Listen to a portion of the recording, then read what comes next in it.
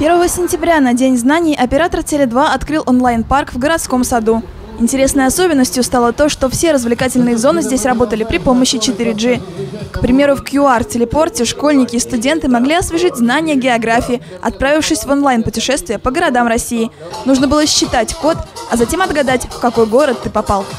В VR-кинотеатре зрители смотрели захватывающие видеоролики на самые разные темы, начиная от астрономии и заканчивая живой природой. Приятные эмоции были обеспечены и маленьким, и взрослым.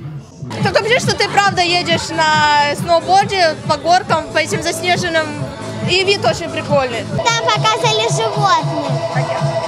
Э, носорогов, слонов, крокодилов. Сейчас приплыли акулы и маленькие рыбки.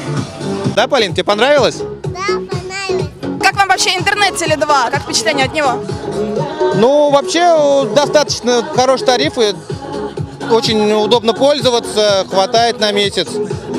Все посетители онлайн-парка смогли отдохнуть, зарядить гаджеты и угоститься кофе, а еще с помощью панорамной камеры сделать сферическое селфи, которое тут же, благодаря 4G интернету Теле2, можно было выложить в социальные сети.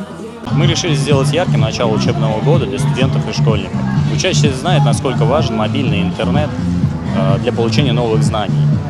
И мы им в этом поможем. Наш 4G интернет повсюду и везде, э, в каждом смартфоне. В онлайн-парке гости не только смогли освежить свои знания биологии, географии или астрономии, но и лично протестировать мобильный интернет от Теле2. Все развлечения, которые пришлись по душе и школьникам, и студентам, и взрослым, стали возможны благодаря высокому качеству интернета Теле2.